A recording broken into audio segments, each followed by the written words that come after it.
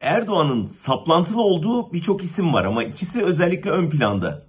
Biri Selahattin Demirtaş, diğeri Osman Kavala.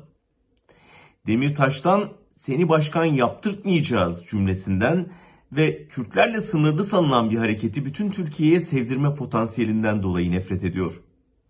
Osman Kavala da ise bütün Batı dünyasının kendisini devirmeye çalıştığına dair komplo teorisinin bir yansımasını görüyor.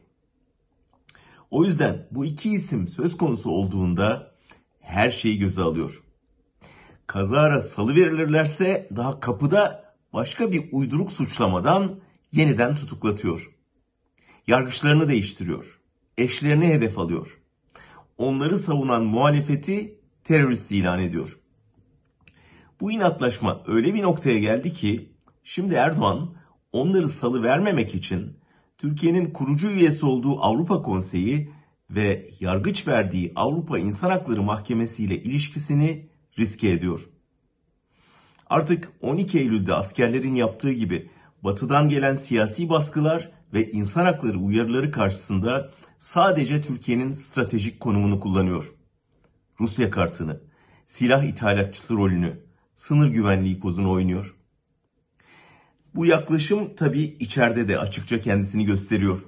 Hukuk devletinden bahseden son isminde hükümetten istifa etmesiyle tamamen Şahinlerin önü açıldı. İsmail Saymaz'ın önceki günkü yazısında verdiği bilgiler herhangi bir demokratik ülkede kabul edilebilir gibi değil.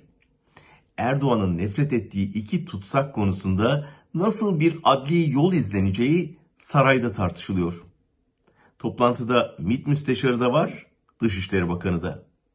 Muhtemelen bu davaları uzatıp da uzun tutukluğu tartıştırmayalım artık. Yargıçlara söyleyin, kessinler cezalarını deniliyor.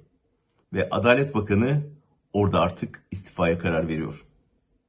Biz ezip geçelim, hukuku sonradan ona uydururuz diyen Süleyman Soylu çizgisi galip çıkıyor.